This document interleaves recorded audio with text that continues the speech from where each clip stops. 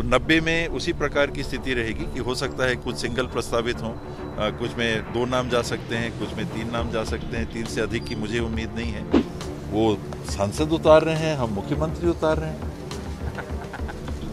वो best candidate जो जिनके होते हैं वो उनको उतारते हैं। बांधने की बात कम होती है।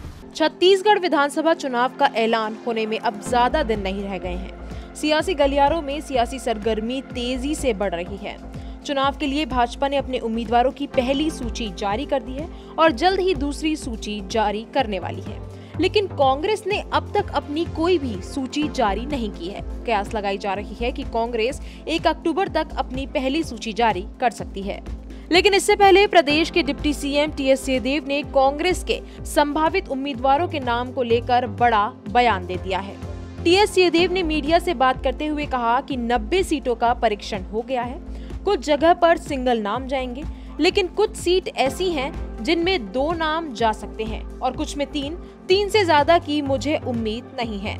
एक अक्टूबर को स्क्रीनिंग कमेटी की बैठक होगी, उसके बाद रिपोर्ट तैयार कर इलेक्शन कमेटी को सौंपी जाएगी। फिर पार्टी हाईकमान की मुहर के बाद सूची जारी कर दी जाएगी। नब्बे की नब्बे सीटों का परीक्षण हो गया है और उसमें जैसी स्थिति है, चाहे पैनल की हो या अदरवाइज़ मैंने पहले भी उदाहरण के लिए हमेशा कहा कि मानना चाहिए कुछ सीट तो सिंगल है, भूपेश भाई की सीट तो सिंगल है, उसमें कोई पैनल की तो बात नहीं है। तो नब्बे में उसी प्रकार की स्थिति रहेगी कि हो सकता है कुछ सिंगल प्रस्तावित हों कुछ में दो नाम जा सकते हैं, कुछ में तीन नाम जा सकते हैं, तीन से अधिक की मुझे उम्मीद नहीं है, हालाँकि प्रक्रिया चल रही है। और ये लेवल है प्रदेश इलेक्शन कमेटी का। इसके बाद एक तारीख को संभवतः स्क्रीनिंग कमेटी की बैठक होगी।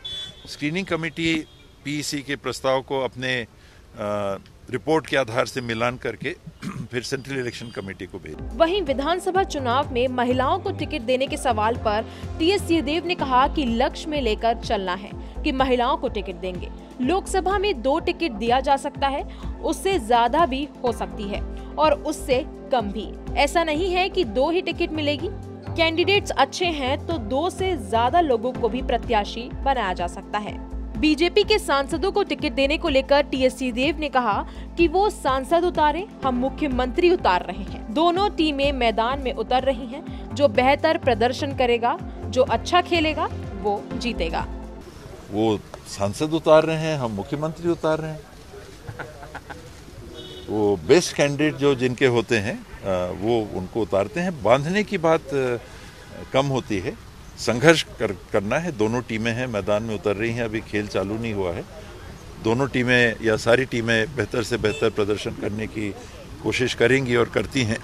जो अच्छा खेलेगा वो जीतेगा। तो टी एस सिंहदेव के इस बयान के बाद ये तो ज़ाहिर है कि कांग्रेस की सूची भी जल्द ही जारी होने वाली है। इसमें आपको क्या लगता है? हमें कमेंट कर ज़रूर बताएँ और साथ ही टी एस सिंहदेव के इस बयान पर आपकी क्या राय है? हमें कमेंट कर ज़रूर बताएँ और इसके अलावा आप अपने विधानसभा क्षेत्र में किसे काबिल उम्मीदवार समझते हैं, ये भी हमें कमेंट कर बता सकते हैं। और अगर आपको हमारा ये वीडियो पसंद आया हो तो इसे लाइक और शेयर ज़रूर करें और हमारे चैनल खबर बेबाक को सब्सक्राइब करना ना भूलें।